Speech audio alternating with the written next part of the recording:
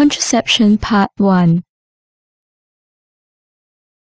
Part 1 of this lecture series on contraception will cover the factors influencing the choice of contraception, the effectiveness of methods available, and focus on the non-oral methods of contraception available. Contraception is the deliberate use of artificial methods or other techniques to prevent pregnancy as a consequence of sexual intercourse. The ideal contraception should be effective and safe with minimal side effects. Ideally, it should be easily reversible by self with quick return of fertility. It should be convenient to use, non-coitally related, and easily administered with minimal motivation and maintenance. Factors influencing the choice of contraception includes the reason for fertility control, would it be devastating for the woman to conceive, or is the aim to space out pregnancy? The reversibility of the method.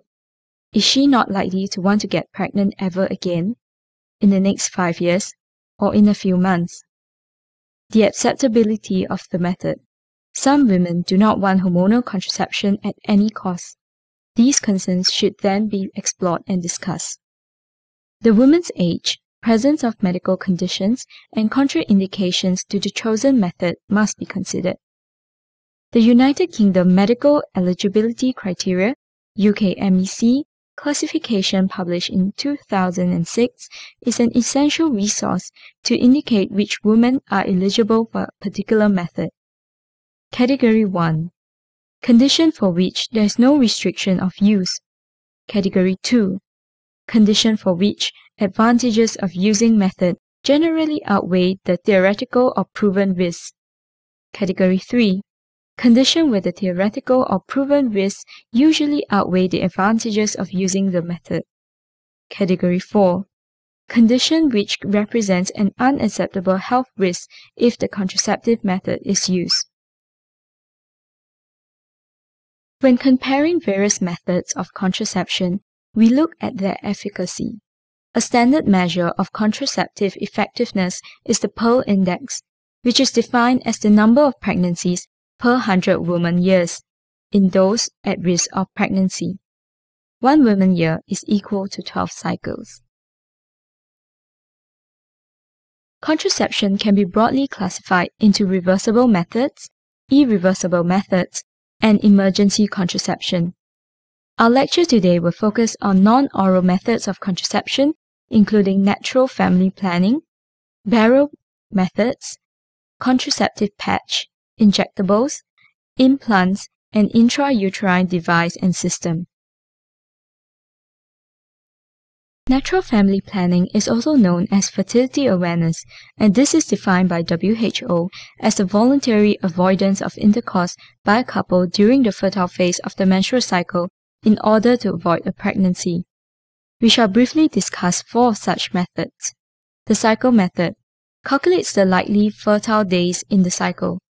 The first fertile day is the shorter cycle minus 20. The last fertile day is the longer cycle minus 10. The method requires a significant period of sexual abstinence. The temperature method is based on the rise in basal body temperature of 0.2 to 0.4 degrees Celsius following ovulation when there is a rise in the progesterone levels. The fertile phase ends after three consecutive high temperatures are recorded. The cervical mucus method, or Billings method, is based on the Spinnbarkeit phenomena, where the cervical mucus is clear, slippery, and stretchy during the follicular phase of the cycle. The final day of the fertile mucus is considered to be the day when ovulation is most likely to occur. The cervical palpation method. Self-palpation of the cervix helps to detect the cervix during ovulation, where it reaches the peak height from the introitus with maximal softness, and the os admits a fingertip. An overview of non-oral methods and the efficacy of each method is listed in this table. It documents the rates of both perfect use which is the failure rates for women when contraception is used every time they have sexual intercourse and used according to instructions every time, and typical use, which is the failure rates for women when contraception is not used every time they have sexual intercourse and or it is not used according to instructions every time. The Merrill methods of contraception has a failure rate of typical use that differs largely from that of perfect use, while methods such as implants and the intrauterine device or system have similar failure rates of typical and perfect use. Barrier methods provide a physical barrier which stops the sperm from getting into the vaginal or upper genital tract. These include male and female condoms, cervical caps, and diaphragms. These methods are immediately reversible. The male condom is a synthetic barrier applied to the entire shaft of penis with a reservoir at the tip to collect semen and prevent exchange of fluids between partners. It has a Pearl index of 2 to 15 per 100 women year. The female condom is a polyurethane sheath with rings at either end. It has a Pearl index of 5 to 21 per 100 women year. The advantages of the condom are that it only needs to be used during sexual intercourse, protects against most sexually transmitted infections, has no medical side effects unless allergic to latex, and is easily available. The disadvantages of the condom are that it interrupts coitus, is highly operator dependent, has a risk of rupture or slippage, and is unsuitable in those with latex allergy. Occlusive devices are available in a range of sizes and initially need to be fitted by trained personnel. They require a high degree of motivation for successful use, which is reflected in the varying rates of efficacy.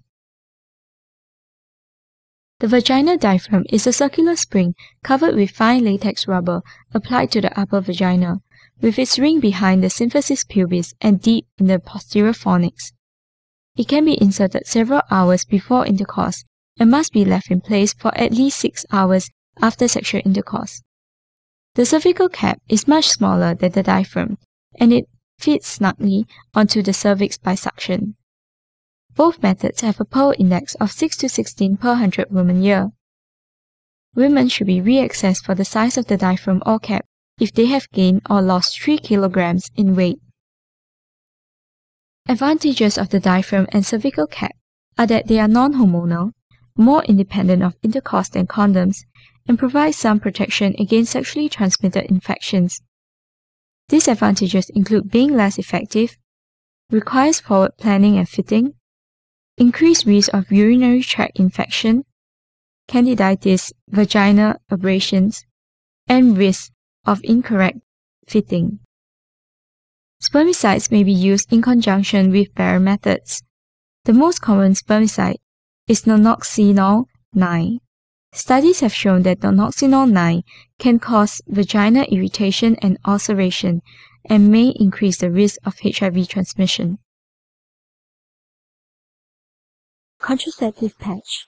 The currently available contraceptive patch is the Ortho Evra Transdermal patch, which delivers 20 microgram of EE and 150 microgram of norelgestromin per day. The patch is applied weekly for 3 weeks, followed by a patch-free week. It exerts its contraceptive effect through suppression of ovulation and secondary effects of cervical mucus and endometrial suppression. Advantages of the contraceptive patch include good compliance in women who use it and independence of intercourse. Disadvantages include detachment, which is rare, increased nausea and breast tenderness compared to combined oral contraceptive use, and breakthrough bleeding. The patch is rated Category 4 in presence of history of thromboembolic, cardiovascular, or cerebral vascular disease. Contraceptive implants.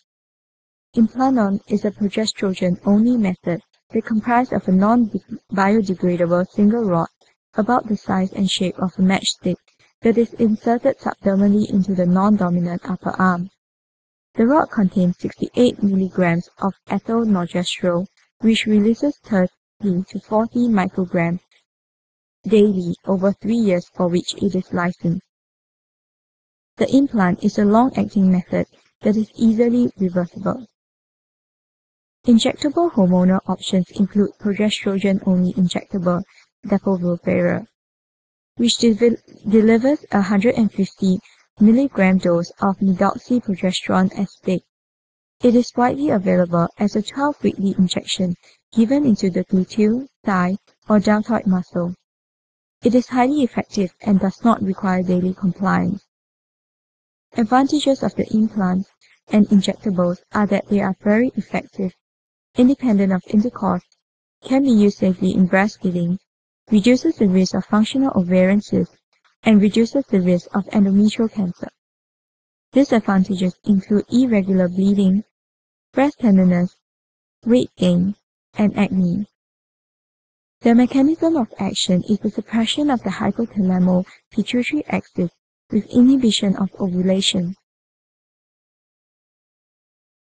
Intrauterine device and system.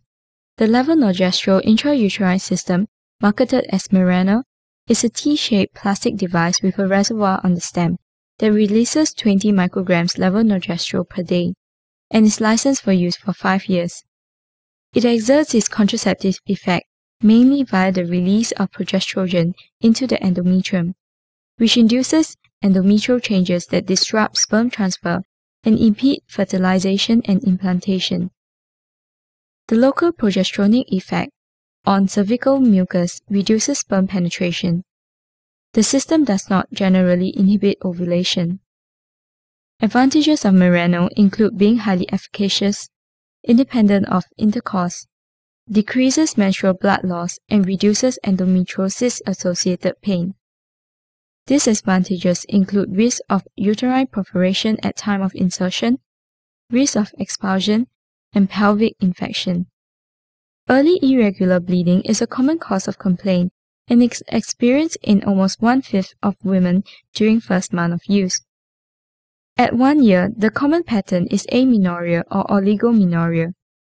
Although there is very little systemic release of levonorgestrel, some women experience transient progesteronic effects such as mood changes, headache, bloatedness, and breast tenderness. The copper intrauterine device prevents fertilization. The copper they contain has been found to be toxic to sperm and ova. The IUD also sets up an inflammatory reaction within the endometrium which inhibits implantation.